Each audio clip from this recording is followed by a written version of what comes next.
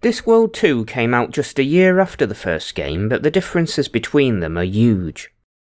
The step up in graphics means the game looks like an actual cartoon, and it's surprising to think that such a big change came in such a short period of time.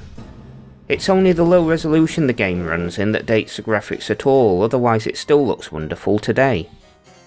The quality of the cartoon graphics shouldn't be too surprising, since they were actually done by Hanna-Barbera. Jinkies! The sequel starts as it means to go on, not so much breaking the fourth wall as failing to build one in the first place, No, it's not dangerous. It's the start of the game. That can't kill us off yet. making jokes about the obtuse nature of the first game, They've probably halved the number of insane object puzzles for a start. Sorry. I mean, clever lateral thinking exercises, of course. And regularly addressing the player directly. Aren't you going to miss all this stuff when they stop making these games? The humour is a lot more successful this time around, less slavishly copying jokes from the book, and instead having more confidence to do its own thing. We got plenty of demons running around the university in any case. Mostly they study law. Law? Why law? It's the wizard's fault, really. Everyone keeps saying that they want a demon to do their will. Hmm, too much setup and not enough joke there, I feel. Excuse me, I think I have to leave. It might occasionally stray a little too much towards Monty Python territory, perhaps understandably given Eric Idle's return performance as Rincewind, I am not parroting. I am parodying. Parodying. Completely different. Parodying. Remember that, and then we don't get sued. Right. No one is to stone anybody. Until you've blown this whistle!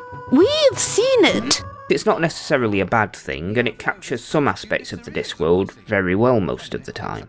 I say, shall we call this one the dead parroting sketch? Watch it! And we get to see a lot more of the disc this time too. It's not so bound to Ankh-Morpork as the first game was, letting you explore further afield. It's nice to get involved in the production of a Holywood Clicky for example, or to explore locations such as the deserts of Djelibeybi.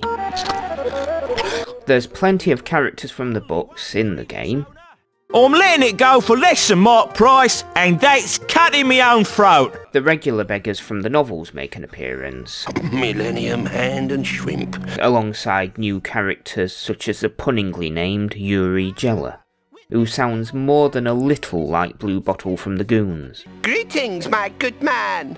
Here, see, now revealed before you, the wonders of the Fakir's art. Flashy, blam, splinge. Aside from Eric Idle, Rob Brydon and Kate Robbins also return from the previous game to voice many of the other characters, this time with the addition of Nigel Planer.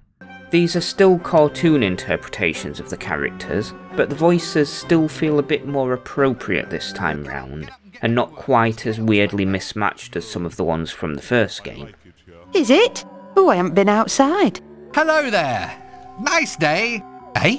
What? I still haven't figured out quite why they interpreted Twoflower as David Attenborough in that game.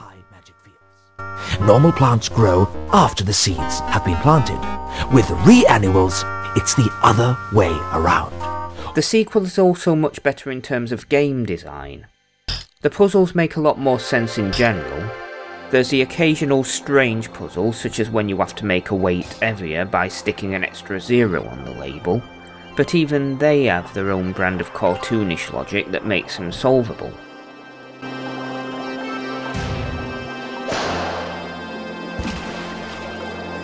Where getting through the first game without a walkthrough feels like it would have taken a miracle, Discworld 2 is a tough game but very completable, and the puzzles are in keeping with the style of the game. The plot this time around is mainly based around Reaper Man's concept of death having gone missing, mixed in with a fair amount of moving pictures, with the game's finale borrowing directly from that book.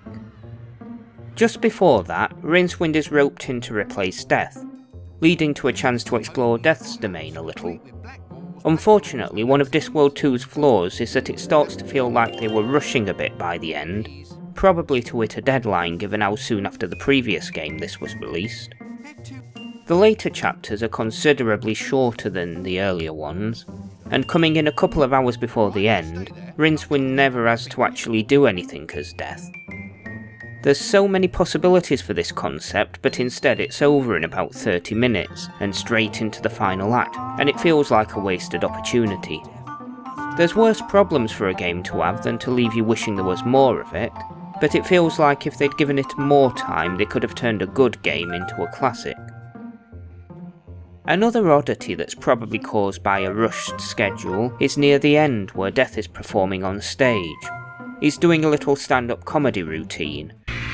I only had a skeleton staff. Ha ha ha. But the animations and the screaming crowds clearly seem to imply that he's singing.